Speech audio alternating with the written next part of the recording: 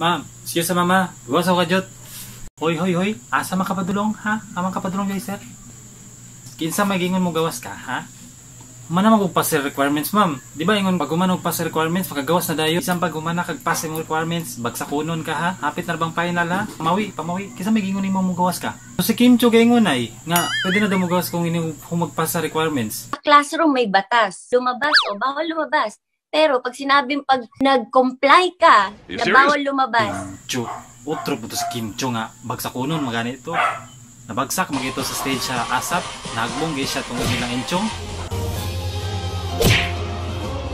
Sige ma'am, lingkod lang ko, di lang ko mo gawas.